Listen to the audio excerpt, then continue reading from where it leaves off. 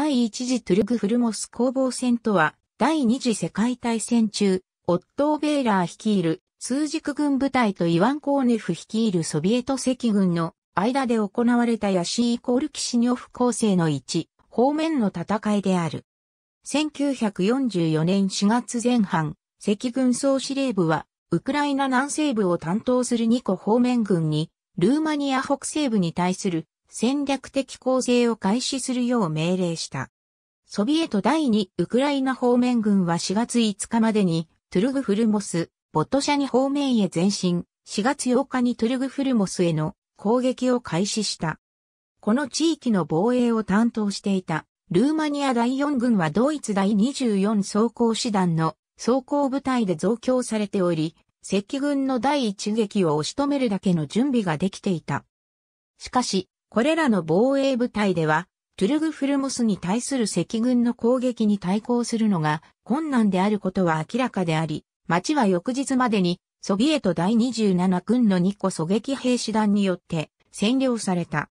一方、ドイツ第8軍はこれに素早く反応し、ハッソフォン・マントイフェル率いるグロースドイッチュラント師団はトゥルグフルモスへ向かい、町を奪還するよう命令した。最初の命令を受けてから48時間後の4月10日夕方までに、グロースドイッチュラント師団は町を奪還し、新たな防衛拠点を築くことに成功した。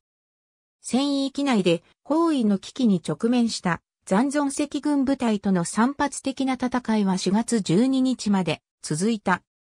戦いが終わった後、ドイツ軍は町の北西と北東に新たな防衛線を構築し、トゥルグフルモスそれ自体の近傍に予備部隊として装甲部隊を維持した。一方、トゥルグフルモスで被った敗北に苛立ったコーネフは4月12日に第二戦車軍に対してポズイロへの村への攻撃を命じた。1944年3月5日、第二ウクライナ方面軍司令官、イワイ・コーネフはウクライナにおいてウーマニーコールボト社に攻勢を開始した。この作戦活動は3月17日までに、ドイツ軍の北方軍集団所属第1装甲軍と南方軍集団所属第8軍の分断に成功。4月初旬までに赤軍はルーマニア国境まで接近していた。1944年4月初旬、赤軍最高司令部は第2、第3ウクライナ方面軍にルーマニア西部において戦略的関連から大規模な攻撃を開始するよう命令した。最高司令部の戦略的移行は、ルーアニア北部でドイツ軍、ルーマニア軍の戦略的防衛力を弱め、重要な都市である、ヤッシー、キシニョフを占領。その後、ルーマニア領域のプロイエシティ、ブカレスト近辺まで深く侵入することであった。4月5日までに、第2ウクライナ方面軍は、ドニエストル川とプルト川の上流を横断、ホチム、ドロホヨ占領、ルーマニア軍の小規模な抵抗を排除して、トゥルグフルモスとボトシャニ地方やシーから 48km、97km、北西地点マイナスへ接近した。1944年4月8日、コーネフはセミョーン・ボグダーノフ率いる第二戦車軍との密接した協力のもとに第27軍、第40軍にトゥルグフルモスの数軸軍に対して南方へ調和攻撃を行うよう命令した。コーネフ配下の突撃グループはトゥルグフルモス方面へ進撃、ヤッシー北部で作戦活動を行っていた第52軍と第6戦車軍はコーネフの主要活動を支援するためにヤッシーの数軸軍のそばで作戦活動を行っていた。1943年から1944年にかけての赤軍の動きコーネフ配下の部隊がトゥルグ、フルモス方面へ攻撃開始準備を行っていたため、赤軍はドイツ第8軍とヤッシー北方 14km にあるポプリコニーの村内外で激戦を展開していたが、ソビエト2個軍団がドイツ軍の装甲戦闘団と戦うことにより、ドイツ軍の注意と部隊を散らせる作戦を行っていた。ヤッシー方面では、第52軍が、陽動作戦を行っている間の4月8日朝、コーネフ配下の突撃グループの3個軍は南へ、進撃を開始した。しかし、この進撃は、春季のデーネー期のために、ヤッシー北西のプルト川を西岸へ横断することと同じぐらい父として進まなかった。コーネフ配下の軍の最初の任務は、トゥルグフルモス、パシカニ、トゥルグネアムツ方面へ進撃することになっており、ルーマニア防衛部隊を奇襲してこの3つの町を占領することになっていた。東では4月7日、第27軍所属の第35親衛狙撃兵軍団、第33狙撃兵軍団所属の7個、狙撃兵師団が、プルト川沿いに南西へ進撃、ルーマニア第8歩兵師団をフルラウへ押し戻すことになっていた。その間に、第2戦車軍の2個軍団が加わった第33狙撃兵軍団のさらに2個師団がトゥルグ、フルモス方向へ、ルーマニア第7師団を押し込むことになっていた。ルーマニア第4軍所属の第4軍団は、トゥルガフルモス地区の防衛を担当していたが、ルイノアサストランがお寺内を結ぶ防衛戦の戦線で将兵を配置する十分な数の部隊を集める準備を行っていた。その結果、第6不評師団、第8不評師団がトゥルガネアムツから伸びる防衛戦に部隊を配置。その一方で、第1コノエ師団及び第7不評師団は、ポズイーロイヘトゥルグフルモスを通過して、東のパシカニエからの地域を防衛することになっていた。後続の部隊として4月8日末までにポズイーロイ、北方 14km 地点で、ドイツ第24装甲師団の小規模な戦闘団によって補強されることになっていた。第27軍の先見部隊第35狙撃兵軍団は4月9日、2個狙撃兵士団を左右に配備してトゥルグフルモス方面へ、ハーロ地域から南へ進撃を再開した。赤軍将兵は敵が反応する前に一個狙撃兵士団と空挺兵を含んだ第二艇団の補強を受けており、素早く町とその周辺を守るルーマニア軍を撃破した。一方、第42新鋭狙撃兵士団は、トゥルグフルモス西 23km 地点でルーマニア第6不評師団が防衛していたパシカニを占領した。同時に町の東方を進撃している第2戦車軍の文献隊はトゥルグフルモスで戦っている第27軍の不評連隊の支援を行おうとしたが、ドイツ軍の防衛部隊により阻止された。ドイツ第8軍はヤッシー西の主要な防衛に対する脅威を認識して、これに素早く反応。装甲的弾兵師団クロスドイッチュラントを派遣した。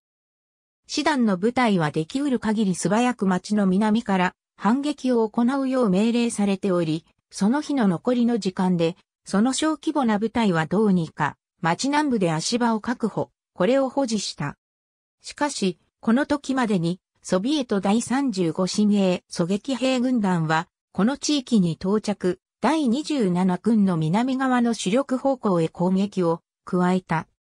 夕暮れまでに第35軍団の先見を務める三個師団は、トゥルグフルモスを通過、町の南から東に伸びているルーマニア軍防衛線に4、8km から 11km の突出部を形成した。4月10日、グロスドイッチュラント師団は、道の南北に二手に分かれて展開、ポズイーロイからトゥルグフルモスに至る道沿いに西へ攻撃を開始した。重爆撃の後、ドイツ軍は町へ侵入して、家屋やその他の建物に隠れた赤軍と戦いを交わしていた。ドイツ軍の攻撃は赤軍の部隊のいくつかを主力部隊から分断、さらにソビエト第206狙撃兵士団、第3新鋭空挺師団、第93新鋭狙撃兵士団が南部で攻撃準備を行っており、トゥルガフルモスには、公営部隊と輸送関係の部隊のみが防衛を担当していたちょうどその時、強調した反撃を行い、町の西で優位を確立した。一方、ルーマニアの第一コノエ師団と第七不評師団は、南から攻撃を開始、赤軍を北へ押していた。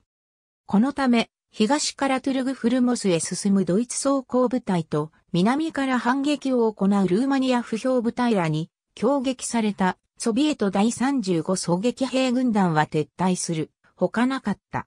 22時頃、ドイツ敵団兵らは最初の命令を受けて48時間後にトゥルグ、フルモスとその周辺部の西方と北方を防衛していた。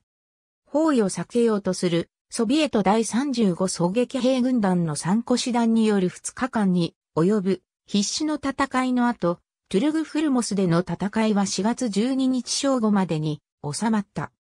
戦いの後、グロスドイッチュラント師団はトゥルグフルモスを防衛する新たな防衛線を確立。それは北西 8km、北東9、7km、東へ 14km の広い港を描いていた。師団長マントイフェルは最終的にグロスドイッチュラント装甲擲弾兵連隊を町の北西である師団左翼にフュージリア連隊を町の東と北西である師団右翼へ配置したが、トゥルグフルモス近辺の予備集合地域に配下の装甲連隊を放置していた。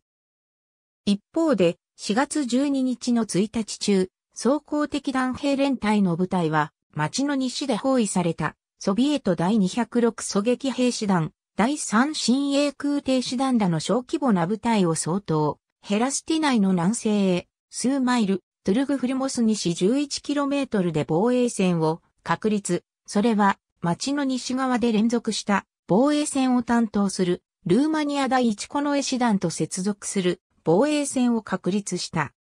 さらにグロスドイッチュラントの右側面で第24装甲師団から派遣された戦闘団がポズイーロイの北からレッティコニーの村までの地域を防衛し続け、その右側面は第7ルーマニア不評師団と結びついており、それはヤッシー北西の戦線を担当していた。第35狙撃兵軍団の3個師団が包囲から脱出することに成功した後、司令官トルフィメンコは、トゥルグフルモス北方からポズイーロイ北対西へ伸びる第27軍の防衛線を再構築した。4月12日末までに第35狙撃兵軍団司令官ゴリアチェブは第206、第3新鋭、第93師団をパシュカニ近辺のシレト川東岸へ、ムンテニの村へ東へ、それぞれ左右に伸びる防衛線から展開、さらに東へ、第33狙撃兵軍団からの3個、狙撃兵士団を、ヤッシー北西 9km 地点に配置した。コーネフは、トゥルグフルモスでの敗北に苛立っており、4月12日、第2戦車軍に命じて、ポズイーロイの北 16km のフォーク有利、南方に2個軍団を集中、ポズイーロイのドイツ軍防衛部隊を攻撃させた。ありがとうございます。